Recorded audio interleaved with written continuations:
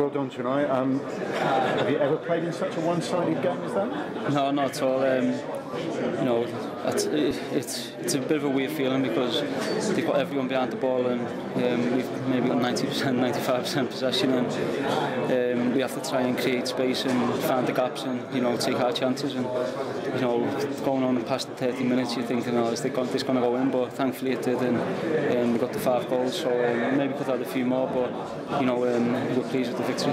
The attitude though was absolutely right. You should have kept going from, from the very start, didn't you? Yeah, we did. We kept you know trying to, to score goals and we knew that they we could see from the first minute they weren't very adventurous and we had to just keep going, keep trying to put the pressure on them and keep trying to open them up and you know it was really pleasing a lot of the younger players as well done, done fantastic tonight you know Danny Welbeck Chamberlain were and Cleverley I thought were, were outstanding.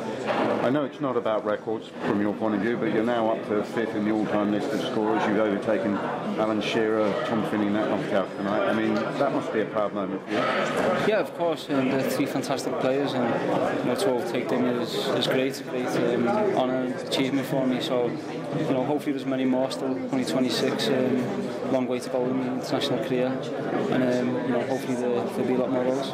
How much do you enjoy having the responsibility of wearing the armband and being the captain? Of course, it was great. Um, I'm very proud um, to captain your country at Wembley. Is you know the, the, the great stomach you can have, so that's something um, I'll cherish for the rest of my life. Just finally, very briefly, Poland will be very different, won't it? Yeah, it will. So we have to, obviously, we've got three points here, have to move on from this game now and prepare ourselves best we can for Tuesday, and we know it'll be a difficult game, with a good counter-attacking team, so you know, hopefully we'll go there with the, the same attitude we had tonight, and you know, hopefully we can get a good result.